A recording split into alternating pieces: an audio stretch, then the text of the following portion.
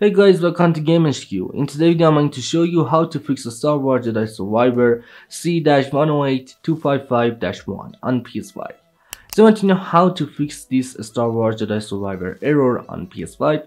Make sure to watch this video. So let's get started. Uh, for the, the first solution to fix C-108-255-1, uh, just go ahead and open up settings, then just go ahead and select system from right over here select system software then select system software update and settings. And now guys just go ahead and select option number one update system software. There is two ways to update system software on PS5 update using internet and also update from USB drive. I recommend you just go ahead and select option number one update using internet and all you have to do is just go ahead and update system software to the latest version uh, sometimes it works. And also guys, make sure to update the Star Wars Jedi Survivor uh, to the latest version. And it's the first solution I know to fix the Star Wars Jedi Survivor C-108-255-1 on PS5. But if that didn't work for you the next solution, all you have to do is just go ahead and completely turn off PS5. Uh, to turn off your console, press PS button, then select power from here and then select turn off PS5. And make sure to completely turn off PS5. Then guys, all you have to do is just go ahead and holding down power button on uh, your console for 7 seconds. And it should be here 2 beeps uh, from PS5.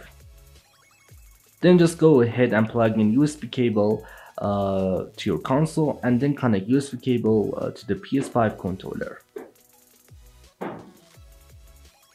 Just go ahead and connect USB cable to the PS5 controller and then press PS button.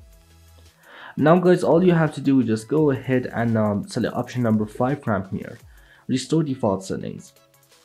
Just go ahead and select this option and then select yes from right over here.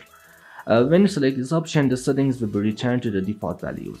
And sometimes it's up you to fix the Star Wars Jedi Survivor uh, C-108255-1 on PS5.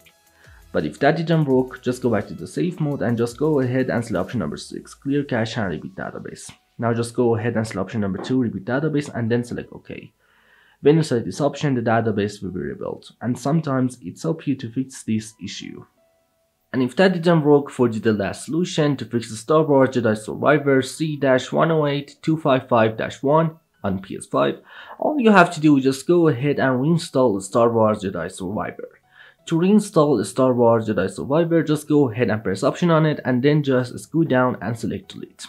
And first of all, just go ahead and delete the Star Wars Jedi Survivor from your console.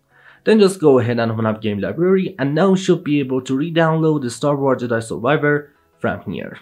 And it's the last solution I know to fix the Star Wars Jedi Survivor C-108255-1 on PS5.